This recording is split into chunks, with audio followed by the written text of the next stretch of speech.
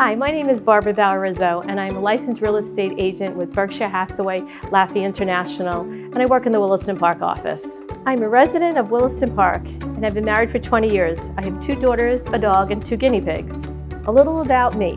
I'm the Secretary of the Chamber of the Willistons. I'm also on the Executive Board of the Herricks District Council PTA. I'm very committed to be a part of my children's education and the awareness of the community that I reside in. The reason I love selling real estate is the satisfaction that I'm helping someone to fulfill their goal to become a first-time homeowner.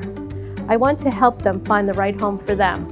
And for the seller to get them the highest price with the least interruptions in their daily lives.